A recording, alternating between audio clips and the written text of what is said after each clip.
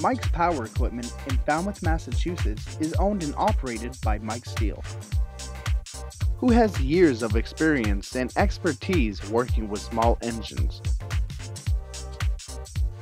If you have a lawnmower that needs a tune up, a snowblower, or other small engine that needs work, go see Mike.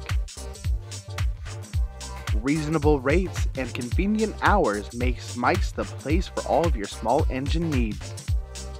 Services include routine maintenance, major overhauls, engine and transmission swaps, pickup and drop off, and much more. Mike's Power Equipment, located at 159 Worcester Court behind Enterprise Car Rentals.